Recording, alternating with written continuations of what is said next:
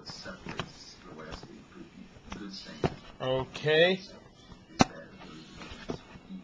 let's get this thing set up. Okay, got the thing set up finally.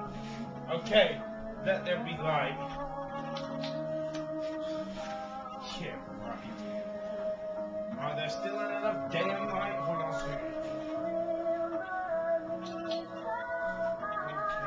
Still ain't enough. Hold on.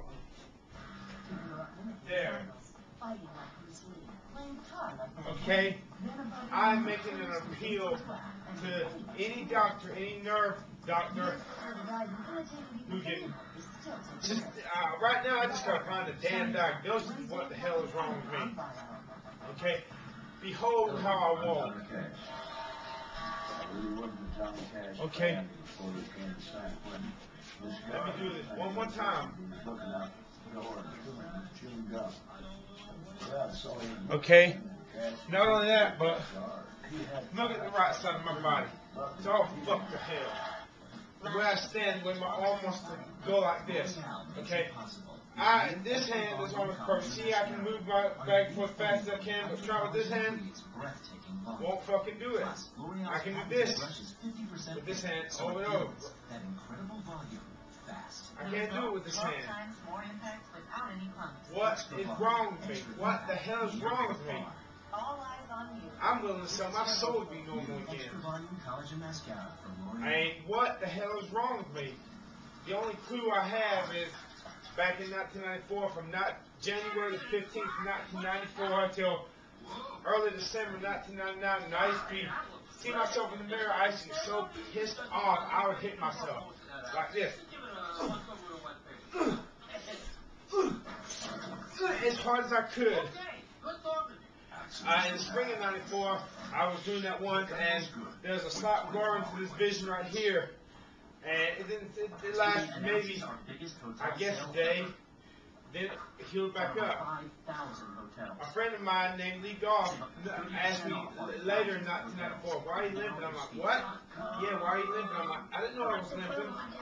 Well, still, I can play basketball pretty good. I still had good use of this hand. Now, in 1996, I started getting really bad. And in 1997, it's like it is now. Who knows? Maybe I'm worse now. I don't know. I don't fucking know. Is there any doctor willing to take me a challenge to figure out what the hell is wrong with me? I, I've had three MRIs, three of them, and they say nothing's wrong with my head and neck. I mean, and another thing, is it possible with this cloning technology and this stem cell research to fix me back up? Because I tell you, I sell my soul for it. I'm willing to burn in hell forever to be normal again. This fucking sucks. I can't walk like I used to. I used to love to walk. Hell, when I would get off work back in 1992 at Pizza Hut, I tried to get off like at 10:30 so I could go walk to the mall. It was a crossroad road and a block away. I'd walk to the mall, walk all the way around the mall, and come back. Of course, I like to do back then because there was a lot of girls and they would scream at me and shout at me back then and say, hey me. And is there any way, any doctor man enough to take up this challenge, knowledgeable enough, smart enough, any of you out there, any of you who doesn't, who, who doesn't, who wants to heal somebody instead of just fatten the pockets of the medical community so that they can fatten your pockets? Or if you are like that, would you at least, just for my sake, just one time, help a person in need to be normal again? Because I'm telling you, I've tried God. I've tried prayer. I still believe in God and prayer, but it, it, it's apparent to me. I wish it would do it, but I've had people lay their hands on me and pray over me. The Jackson 5 left Motown when their request for more creative input was turned down. Look how well Once it works. Jermaine, who remained with Motown, the band joined the Epic label in 1976. You know, Jacksons. The first album with Epic Even if I do get the cosmetic surgery I so desire and do look like a hottie, began to circulate. what the girl in her fucking right mind is gonna want to be with a disabled, retarded looking freak? You know, I get so fucking sick and goddamn tired of people asking me, do you have cerebral palsy? No, I don't got no god fucking cerebral palsy. Quit asking.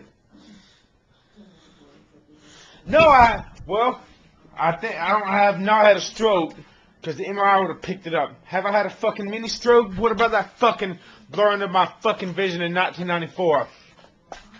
I'm appealing to somebody to help me. And once again, if I had to, y'all my witnesses, I sell my soul to be normal again and to be a good looking guy.